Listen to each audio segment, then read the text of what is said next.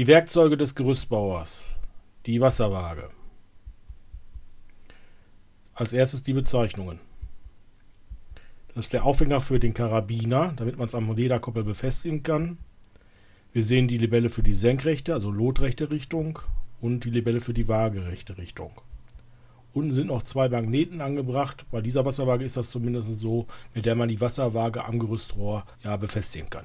Die Maße. Die handelsübliche Gerüstbauwasserwaage hat eine Länge von ungefähr 300 mm. Ich habe auch eine bei mir im Gebrauch mit 250 mm. Diese hat eine Höhe von 51 mm und eine Dicke von 20 mm. Gewicht ungefähr 0,2 Kilogramm. Die Verwendung.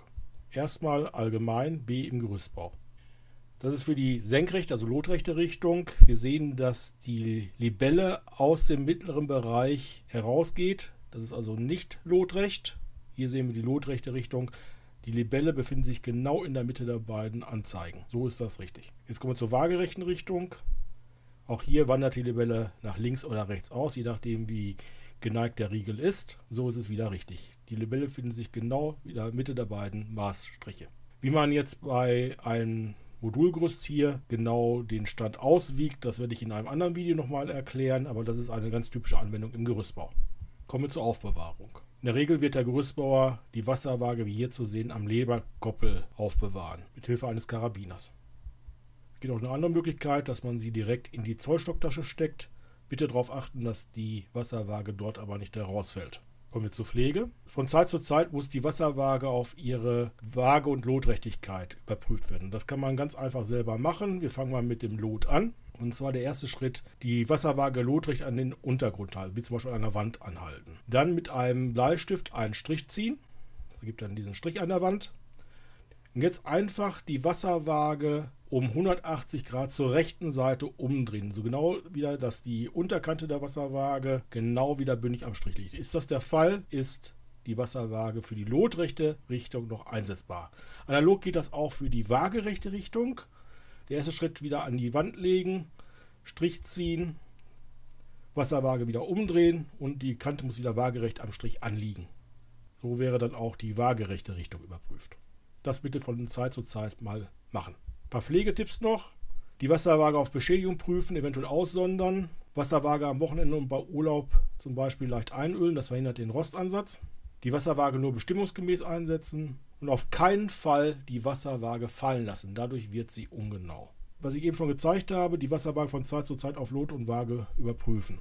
Genau wie ich es eben gezeigt habe. Weitere Wasserwagen ist die Schlauchwaage. Es geht da meistens darum, dass man einen Festpunkt hat und dass man diesen Festpunkt auf ein anderes Bauteil überträgt. Das funktioniert mit dem Gesetz der kommunizierenden Röhren. Was ist das? Nun, das besagt, dass verbundene Gefäße gleiche Füllstände haben. In den Röhren bzw. im Schlauch dürfen sich aber keine Luftblasen befinden. Also bitte beim Befüllen der Schlauchwaage darauf achten, dass sich keine Luftblasen darin befinden.